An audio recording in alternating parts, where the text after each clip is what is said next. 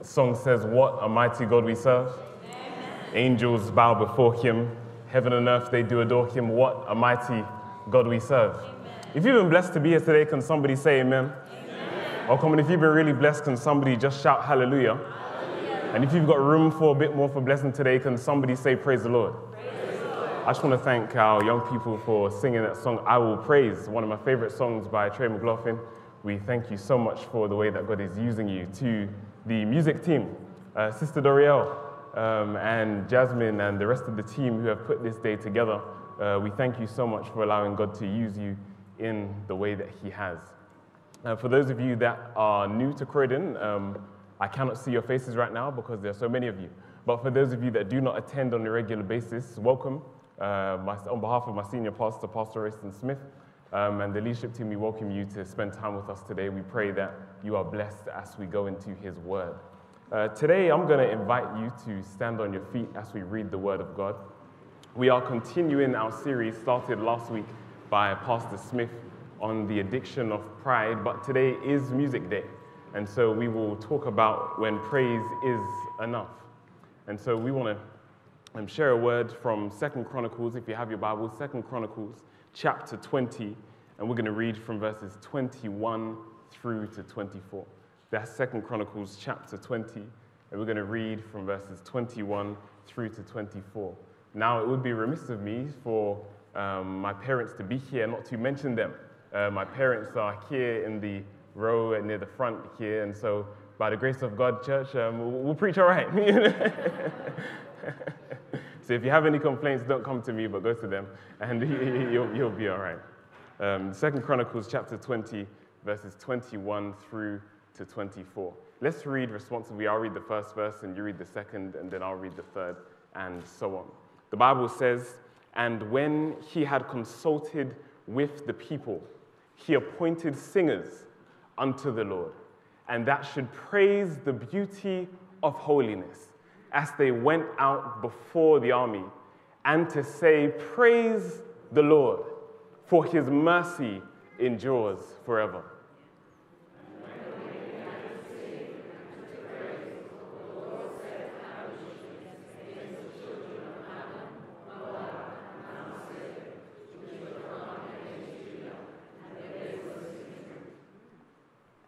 Verse 23 For the children of Ammon and Moab stood up against the inhabitants of Mount Seir, utterly to slay and destroy them. And when they had made an end of the inhabitants of Seir, everyone helped to destroy one another.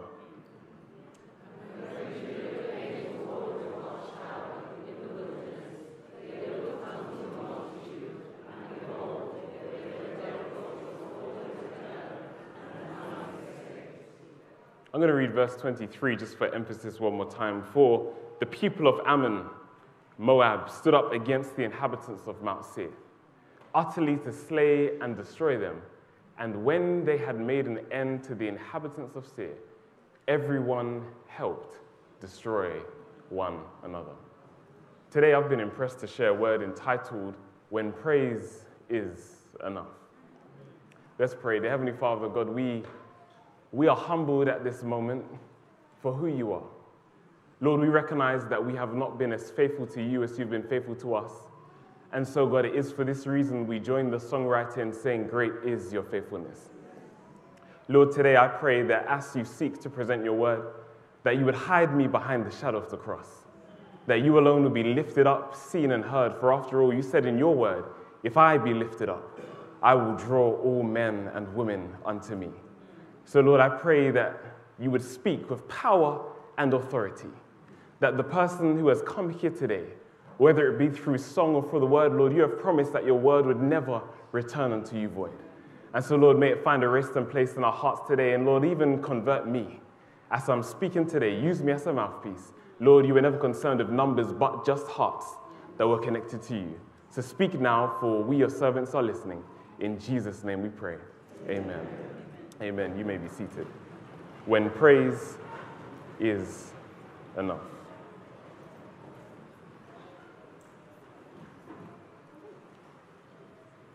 I think it'd be fair to say that most of us, if not all of us, know what it's like to grow up in an environment of praise. I mean, even if you weren't a Christian, many of us knows what it feels like to hear some sort of praise taking place. You see, if you had a grandmother like mine, you didn't need much to hear praise and worship. I remember my mum would drop me off at my grandma's house when I was younger, and we could be watching the TV, but grandma didn't care. I mean, all of a sudden, she would take this deep breath and she would start to echo the words, Jesus, keep me near the cross. There's a precious fountain. And just when you thought she was going to go over and sing all four stanzas, she turned the switch um, and she changed it on you, Brother Bobby. You know what I'm talking about. And she would start to sing songs like, Pass me not, O gentle Savior. Hear my humble cry, while on others thou art calling. Do not pass me by. And just when you thought grandma was finished, when she was done, when she was going to sit down to have her pray and have some food, she went further because back in those days, the old folk used to have worship just not on Friday night, but every night at sunset. You know what I'm talking about. Every night when sunset came, grandma called us together, said, Boys, we're having worship. And she would sing the same song every single day. It would simply go like this now the day is over. Night is drawing nigh. Shadows of the evening steal across the sky. Jesus, keep the weary, calm and sweet repose. With thy tenderest blessing, may our eyelids close. Saints, grandma, she knew how to praise God. Grandma, it didn't take much for her to praise God. In fact, grandma was praising God all the time. And so I assumed then, because grandma was always praising God, I believe that it doesn't take much to praise God. And so I believe that whether times were good or bad, all I would just do is to praise God. But, saints, can I be honest that sometimes when life gets real, it's not always easy to praise God when you're going through something. You see, grandma, she was able to praise because she had lived years of experience with the Lord. But me coming up, I didn't realize what that meant and how that was to translate into my everyday experience. And so every now and again, I realized that it was hard for my praise to match when things weren't going well in my personal circumstances. Stay with me because we are going somewhere here in our text. We find King Jehoshaphat. I mean, can you see him? He is there, he is the king of Judah. And the Bible says that not only is he the king of Judah, but he's not any type of king, but in fact, he is a king who did right in the eyes of the Lord understand he was appointed as king because how many of you know you, can have people in position, but position does not make you godly. Position does not mean you have a connection with the Holy Ghost. But Jehoshaphat, he is a man who is in position, but he also loves the Lord. Can you see this man? He is there and he is now charging the new judges as he appoints them over the different parts of Judah. And watch what he says. He says, Listen, listen, if you would just live a life holy and acceptable, if you would just lead the people in the way of the Lord, then things would go well. He is charging them, he is doing all that he should do. And then out of nowhere, the Bible says, does the people of Moab, Ammon, and Mount Seir lift up their voices and say they come together and seek to destroy Jehoshaphat and his people. I mean, saints, this doesn't make sense. Jehoshaphat was living a life after God's own heart. Jehoshaphat didn't do anything wrong. But yet, after obeying God, Jehoshaphat finds himself in some trouble. Because how many of you know that just because you obey God, sometimes when you obey God, it might actually lead you into trouble.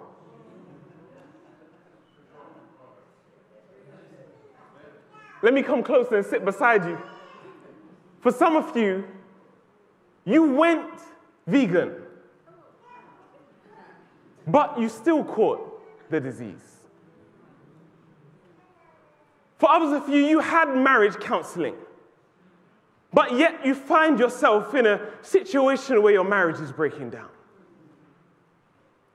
For others of us, we went to the university that God told us to do, but yet student finance aren't willing to pay out the money. Sometimes you obey yourself into trouble. See King Jehoshaphat as he is living a life after God. But now the Bible says it's not just one, but three nations, people of Moab, Ammon, and Mount Seir, come together and collude. And, saints, you should know that these people didn't even like one another but yet for a common purpose to destroy somebody that they don't like. They decided to collude with one another to defeat God's people. Saints, be careful who you collude with to destroy God's people because things will never end up well. See them as they come together to collude against God's people. See the people of God as their backs are now up against the wall. And how many of you have been there before where you've been in a situation and you feel boxed in by the enemy and you don't know what to do and you're wondering, God, how on earth am I going to get out of this situation? For some of you, you wake up every morning early to lift up your voice and pray the protection of God over your family. Yet for some reason, you still find yourself in danger. There are others of you who wake up early in the morning to study and you spend hours and late nights with your friends in the library, but yet when you get to the exam, the exam paper does not reflect what you have been studying. Saints, sometimes you might feel boxed in by the enemy, but can I just encourage you that when you feel boxed in by the enemy, that's the time when God is about to show up in your life. Don't faint, don't lose heart. Why? Because God is on the way. See it now as the enemy. They come from every angle Moab, Ammon, and Mount Seir. They do not like one another, but they have a common enemy. And so they plot to destroy Jehoshaphat and God's people. Oh, can you see the text now? As Jehoshaphat, although he is confident in his God, every now and again, like many of us, he has some doubts, he has some fears, and he is starting to worry wait, God, what is going on? How could you allow this thing to happen to us. But I like Jehoshaphat as a leader, for he does not have a board meeting to survise what he will do.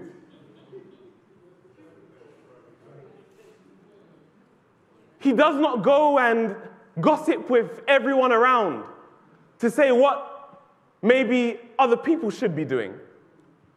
But Jehoshaphat, the Bible says, proclaims a fast. Proclaims a fast over the whole of Judah. And says, That's for me and my house. We might be scared, but we will serve the Lord. Amen. Can you see him as they are now fasting? And while he is fasting, he gets some things off his chest and he says, Lord, did you not promise us?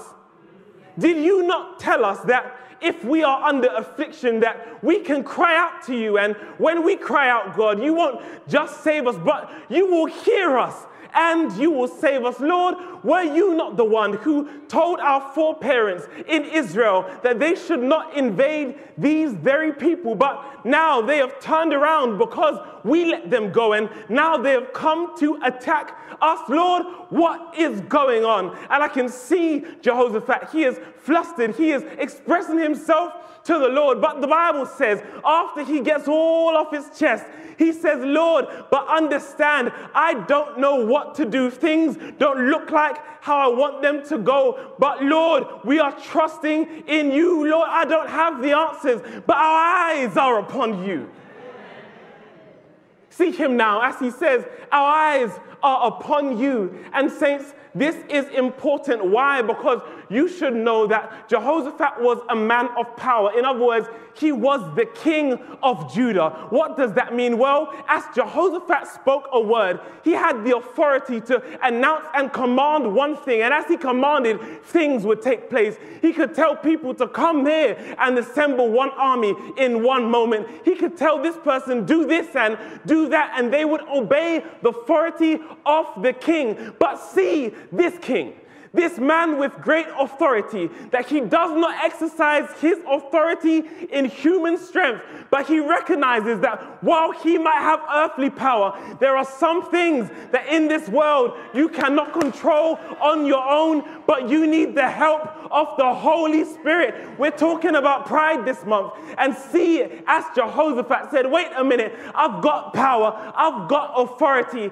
but understand, I haven't got enough pride to let me know that this goes beyond me. And, saints, there are some situations in your life where some of us, we are too prideful. We've got too many things in our life where we think we can take control and we can do it and we can shift things around. But I'm here to let you know that there are some things in life that go beyond you. There are things that you cannot control. And like Jehoshaphat, you need to stand up and lift up your voice and say, Lord, we've got no power and we don't know what to do, but Graydon, our eyes are upon you.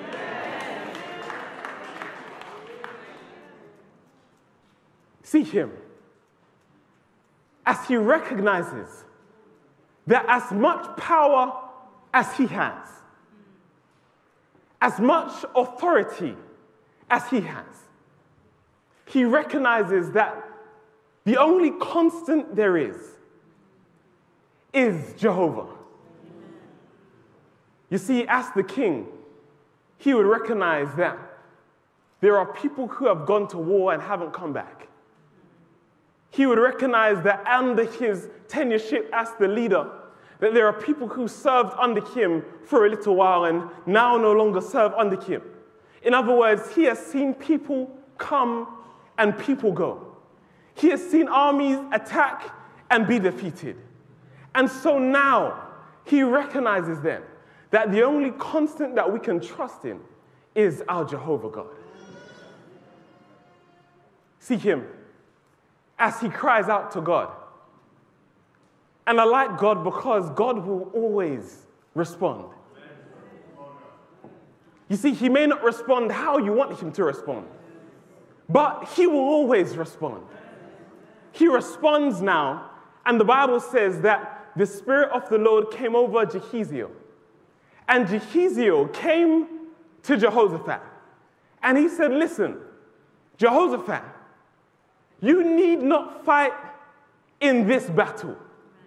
I'll read the text. He says, Hearken, ye all Judah, and ye inhabitants of Jerusalem, and King Jehoshaphat. Thus saith the Lord God Be not afraid, nor dismayed, by reason of this great multitude Moab, Ammon, and Mount Seir. Why? For the battle is not yours, but the battle is the Lord's.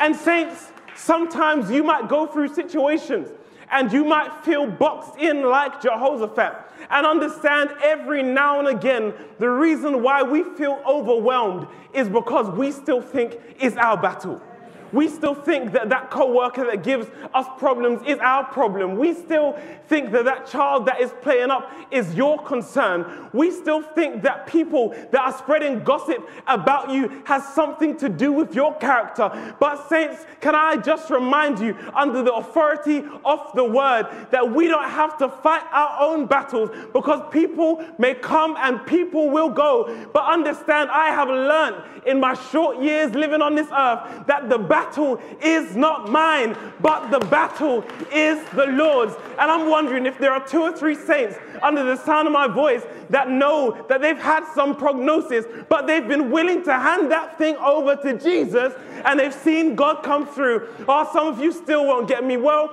my dad is here as a living witness. You would recall back in January, I shared a testimony how my life had been shaken up and been troubled. But, saints, I never told you the end of that story. Well, the good news is I don't have to say much because my dad can stand up to his feet right now as a living testimony that God lives and he proclaims. Why? Because the battle is not yours, but the battle is the Lord's. Just hand that thing over to God and watch God work that thing out. See Him. As He says, the battle is not yours, but the battle is the Lord's. I like Jahaziel, for he says, The battle is not yours, but the battle is the Lord's jasmine. And then he says something. He says, just stand still. Just. The enemy is coming against you. There are three nations that are seeking to kill you. But Jehoshaphat, just stand still. Oh, some of you missed that.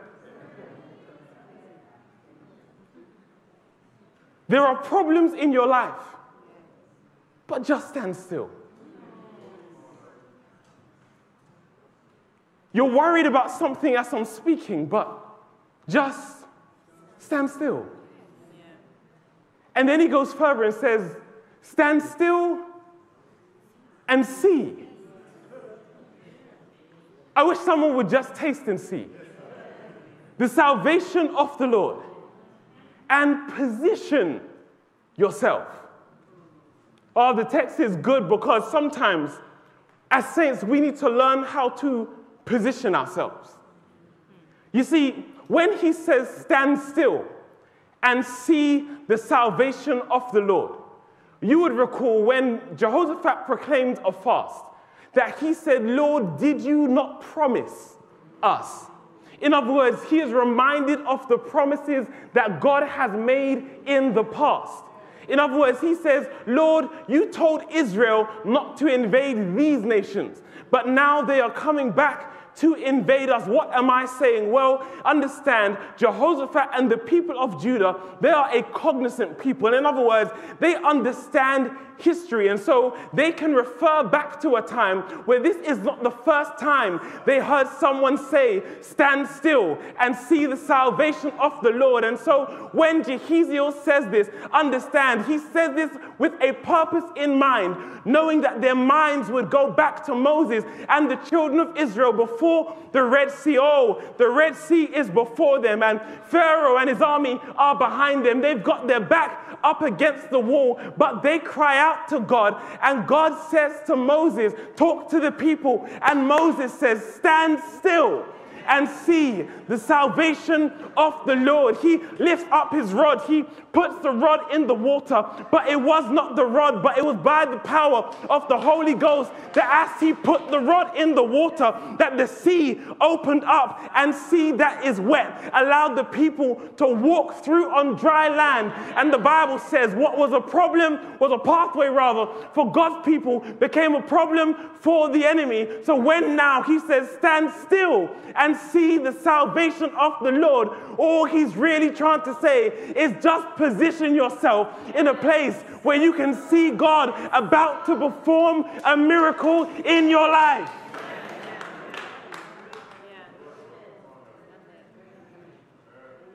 You've got to position yourself. He's going through stuff, but he's positioning himself.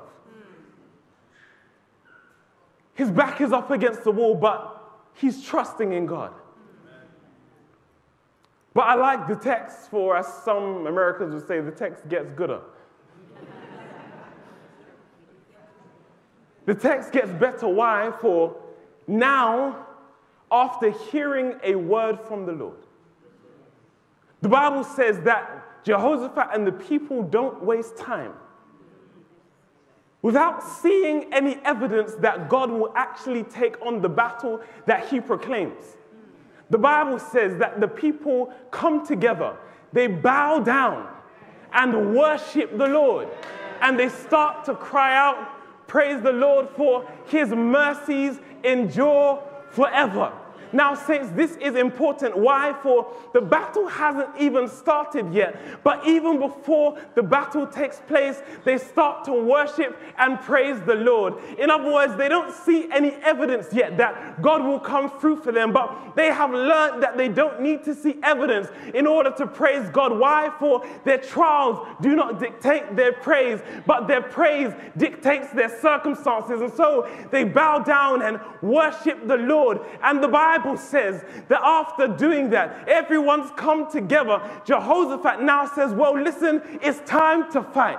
Oh, saints, get ready for you would have thought that he would bring together people with the best soldiers and those who knew how to fight, those best generals and his amazing lieutenants. But no, the Bible says that he calls together the people, and after talking, Brother Sivan, he calls together Croydon Choir and he says, Listen, understand, we are going to fight the people of Moab, Ammon, and Mount Seir. Oh, saints, see the text for the text gets better as he calls together not weapons of warfare, but he presents the weapon of praise. And the Bible says that they come together and they start to sing, Have mercy, for the Lord, his mercy endures forever. And saints, as they begin to sing, I mean, I could just imagine the scene. Can you see it as he calls forth the praise team? He says, Well, I need a soprano somewhere, a first and second tenor, perhaps someone on the bass and even a baritone somewhere. He starts to call forward the instruments and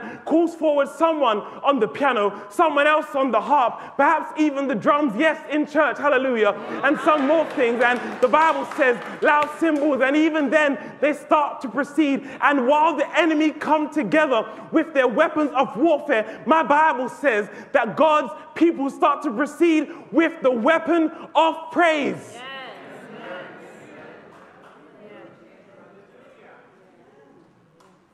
But, saints, that's what they sang. But the question is, what will you sing?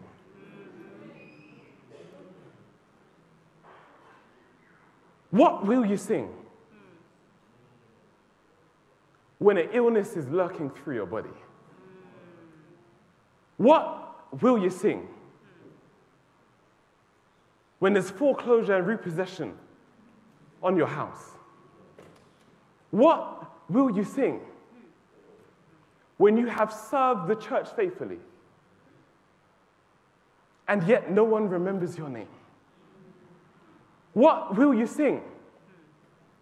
When you give everything to God and it seems like nothing is coming back in return. The thing is, I know what they sung, but the question is, what will you sing? You see, I like to sing Jesus, keep me near the cross. There's a precious fountain. Healing all the kneeling stream, there's a precious fountain. Tis so sweet to trust in Jesus, just to take him at his word, just to rest upon his promise, just to know, thus saith the Lord. What a friend we have in Jesus. All our sins and griefs to bear. What a privilege it is to carry everything to God in prayer. Oh, saints, be not dismayed. Whatever betide, God will take care of you. Beneath his wings of love abide, he will take care of you. Oh, saints, I said, God will take care of you. Through every way, through all the way, He will take care of you. And as they sing the song, the Bible says that as the people of God lift up their voice to praise and worship, the Bible says that now the enemy, the people of Ammon and Moab, now start to lift up their swords. And as they lift up their swords, they don't come to fight God's people, but they look at the people of Mount Seir, and instead of killing God's people, they start to destroy one another, and things get confusing. And I was wondering, wait a minute, aren't they meant to fight God's people? But saints, understand when you praise God, when you lift up God in your circumstances, when things don't make sense, when you should be confused. Marvin Sapp said it best praise will confuse the enemy. And see them now as they start to kill one another left, right, and center. And the Bible says that they lift up their swords and they destroy everybody dog, cat, everything until there's nothing. And the Bible says that it gets so good that God's people now, all they had to do is just overlook. Oh, saints, stay with me. Read your Bible. It says they just stood and overlooked on the plain. They didn't have to lift up one finger, but all they had to do was just overlook. Saints, I'm wondering today if there's anybody in Croydon who would just stand with me and just overlook at your circumstances. I'm wondering if there's anybody who would just overlook at the pain. I'm wondering if there's anybody who would just overlook at what you're going through, knowing that what you see now does not tell the whole story. For the Bible says that when they are finished, they go down and they see all the dead bodies, so much so that they start to collect what God had laid out for them. So they had more to end with than they started with. Why? Because God's grace is so good that He'll bring people who are coercing against you to destroy you, and He'll allow them to destroy each other in the process so that He'll lift you up in Jesus' name.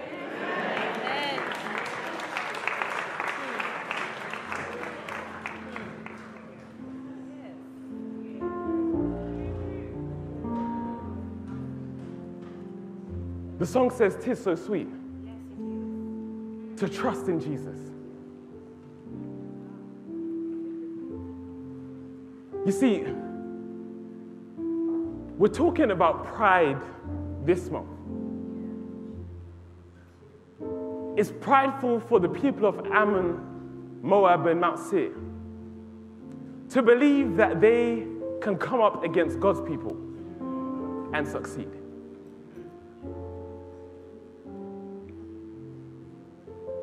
It's prideful that you think you can control your own circumstances and your life. It's prideful to believe that because you've seen God do it before, that you understand the recipe to success in this life. But today we're banishing all pride. Amen. And we're saying, Lord, it's sweeter to trust in Jesus just to take him at his word. And there's somebody under the sound of my voice, you have come here today. And you like music. Perhaps you were preparing to leave halfway through the service, but one of the deacons stopped you at the door. You see, the fact is that circumstance that you are dealing with, God wanted you to know that it is not in your own might nor by your own power. Yeah for the battle is not yours, but the battle is the Lord's. I don't know what your battle is today. I don't know what you're struggling with. I don't know your circumstance. But what I do know is this is in spite of what you are struggling with now, God's promises are sure. Just position yourself. Stand still and see the salvation of the Lord.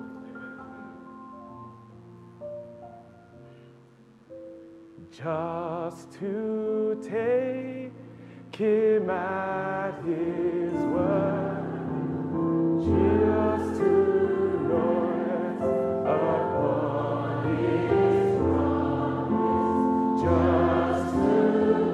Everybody standing.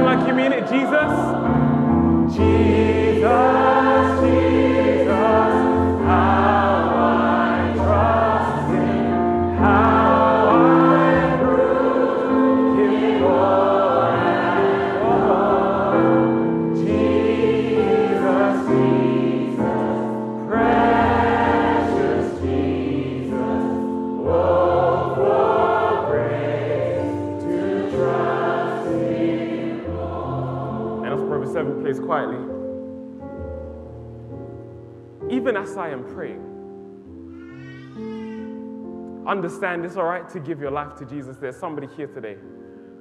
You witnessed the baptism two weeks ago.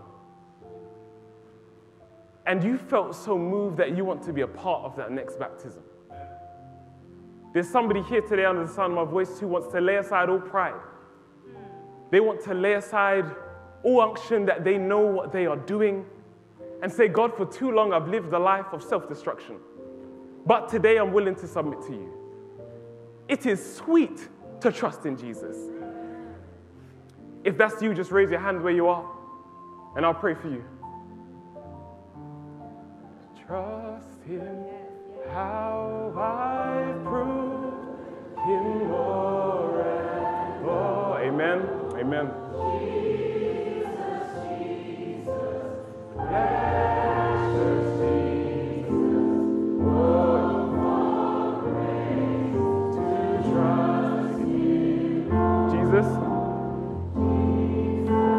that have raised your hand, if you just come down to the front, I want to pray for you.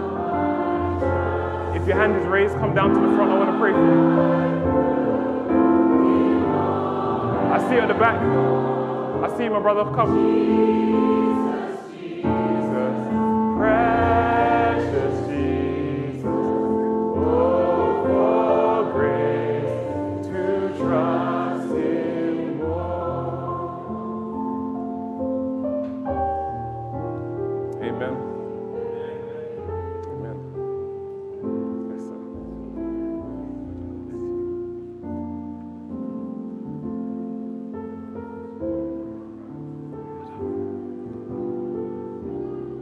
Let's pray.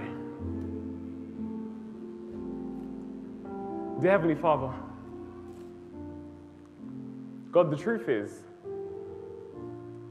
there are times in our lives where we seek to honor you. There are times in our lives, Lord, where we seek to put you first.